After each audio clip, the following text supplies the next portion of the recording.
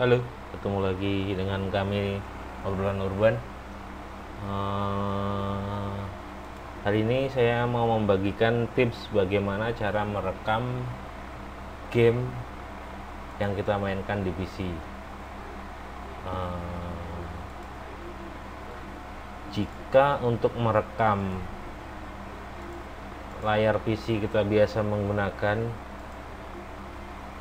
Camtasia Camtasia Camtasia Camtasia Studio untuk merekam game kita nggak bisa pakai software ini. Karena ini cuman bisa merekam bagian dari gimana ya bagian dari Windows-nya ini. Ketika dia ngeplay game lain maka dia ini tetap nge-record cuman tampilannya putih nah sementara kalau game PES ini dijalankan di versi Windows View akan patah-patah banget. Kemarin saya sempat nyoba. Nah kemarin sempat googling gimana caranya ngerekam game di PC banyak banget uh, rekomendasinya. Uh, ada yang make ada yang bilang make Bandicam. Bandicam ini berbayar. Ada yang Frap nah kemarin ketemu. Ada yang nyarin pakai OBS OBS ini Open Broadcast Software. Nah, ini gratis nih.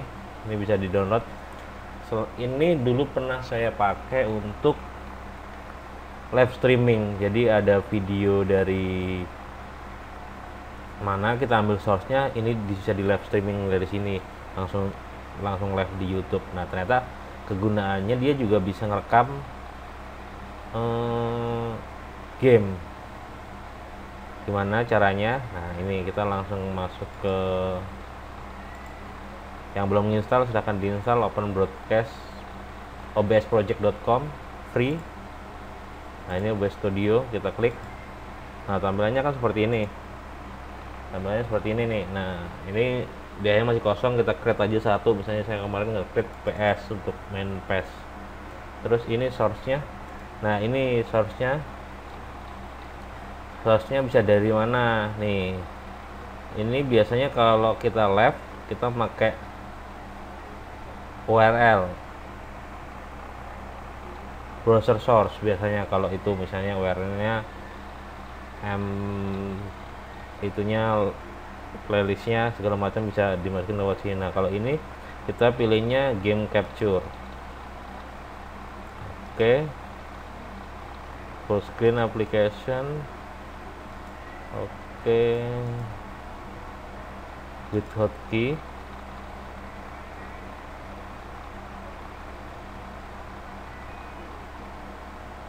Oke, sebenarnya ini nggak ngaruh sih di setting di setting ini juga nggak apa-apa. Oke, nah uh, settingnya kita lihat.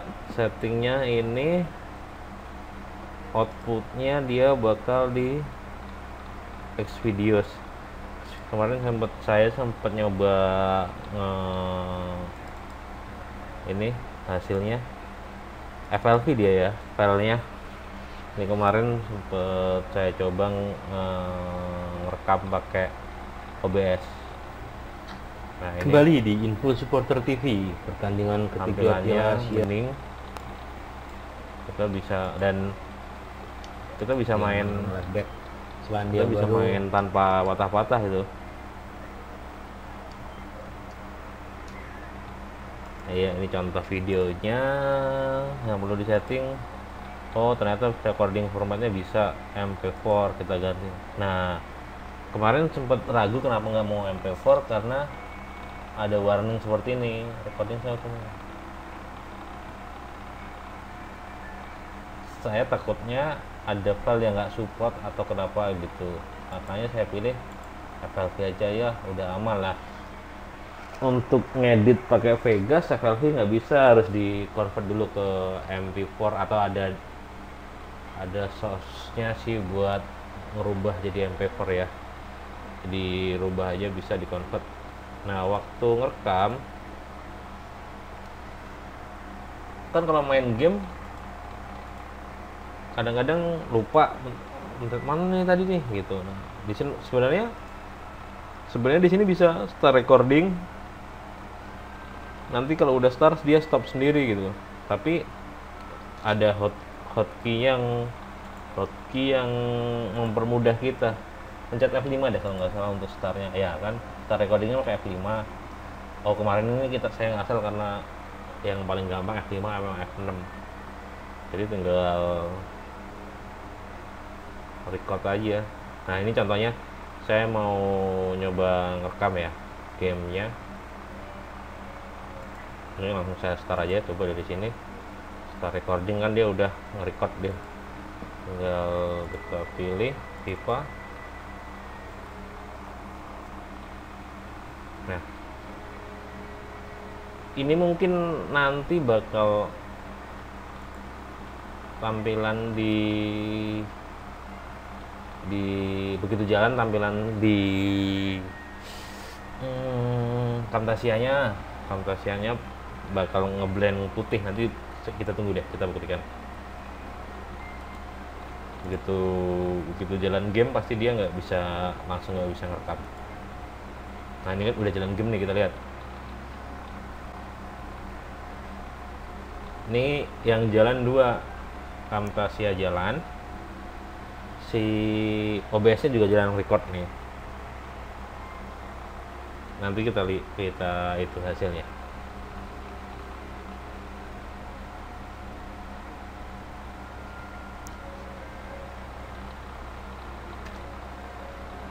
ya ini udah jalan gamenya nah kita main game biasanya oke eh, rekamannya saya stop pencet F6